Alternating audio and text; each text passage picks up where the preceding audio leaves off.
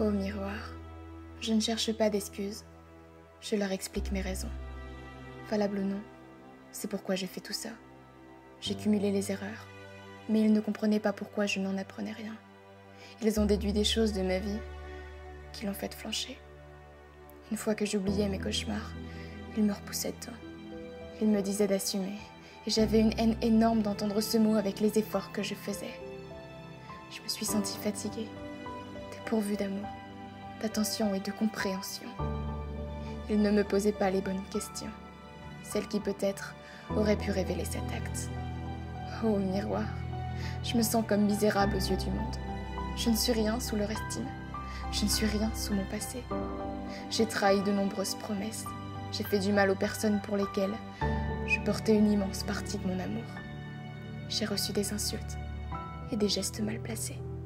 Cette réputation, j'ai tout fait pour l'oublier. Oh miroir, je m'énervais si facilement sur eux, parce que ma peur devenait presque plus forte que le frappement des vagues sur les traves d'un bateau en pleine tempête. J'avais froid, sans cesse, et cette boule au ventre ne me lâchait plus. J'ai fait tomber tout le monde comme de simples quilles, à croire qu'ils pensaient que je m'amusais. Ils avaient le plus négatif des avis et le plus noir des regards. J'ai bombardé mon propre château et j'étais dans la plus haute des tours quand il s'est écroulé.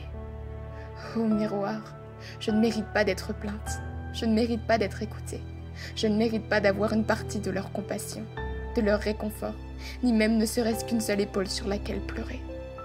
Je suis sans doute le déchet du monde. Seul, je marche. J'ai peur. Et sans un seul bruit dehors, je me sens démunie d'armes. Est-ce qu'assumer veut dire se taire?